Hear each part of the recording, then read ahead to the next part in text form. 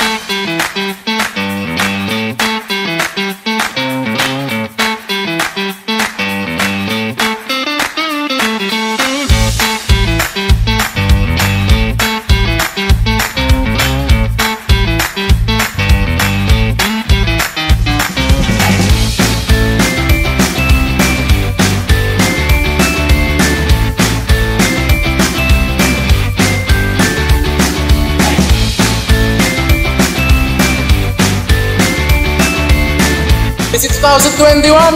Thank you to Elhead!